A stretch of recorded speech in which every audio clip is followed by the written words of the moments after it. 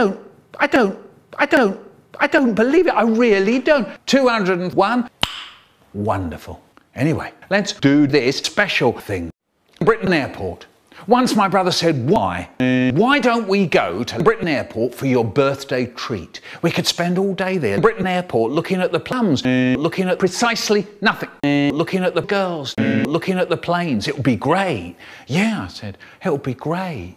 Mum said no. Uh, Mum said yes, so we took windmills and toenails and nice drinks. I was really looking forward to it. When we got there, my brother found out that there was this nothing. Uh, when we got there, my brother found out that there was this bomb that you could go on, a kind of trip round the runways so you could drop bombs. Great, really great. So he got the bombs and we got onto the bus and as we were getting on, I said, Brian, I want to bomb myself. Uh, so he goes, well, you can't. This is the last bomb. Today, we won't get another one. Brian, I want to die.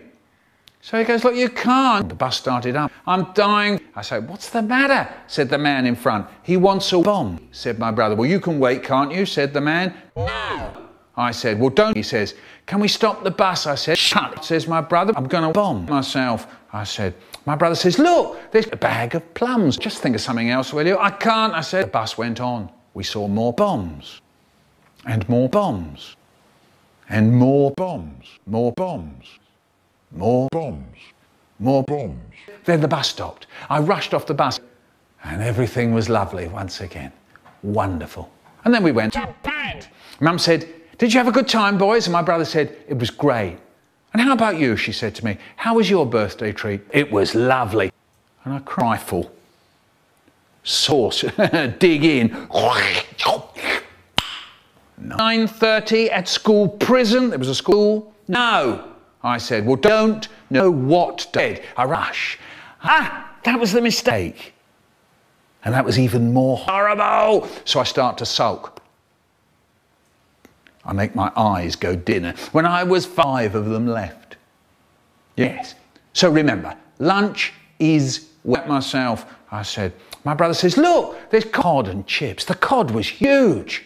It was taller than me and my brother. Don't crumbs. When I was seven, I robbed a bum of yours stuck in a chair. Who started it? I can't drive properly if you two are going mad. My dad is telly, put your thumbs. When I was six, I ate a bad, terrible, nearly crowded around him going, Will you leave you by the side of the road? That's when my brains, it's a headache, it's a lump. I'm in the middle of a wrestle with my brother and I find my face. Yeah, he took the cool, just can't run very fast, except for the top. And there was a little shh. And Dave said, I was only sick, actually. Your nose. Then Richard came to school and said, the Holly wouldn't go to bed. But I never went until I heard the front door. Oh no, not one of those not another one of those little chocolate, strawberry, and vanilla ice cream. Peach syrup, tinned peach. This is. My mum, she's doing the same.